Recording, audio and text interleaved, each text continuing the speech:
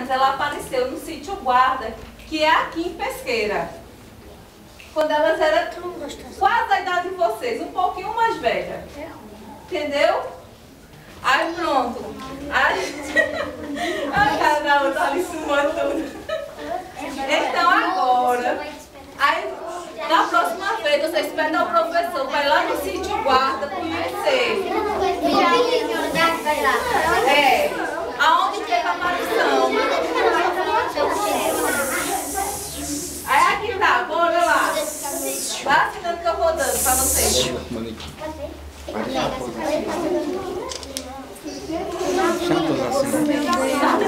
Você tem paciência de esperar todos Só o primeiro nome. Só o primeiro nome.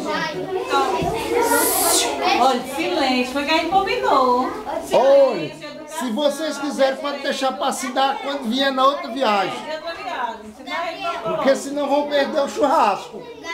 Olha o churrasco.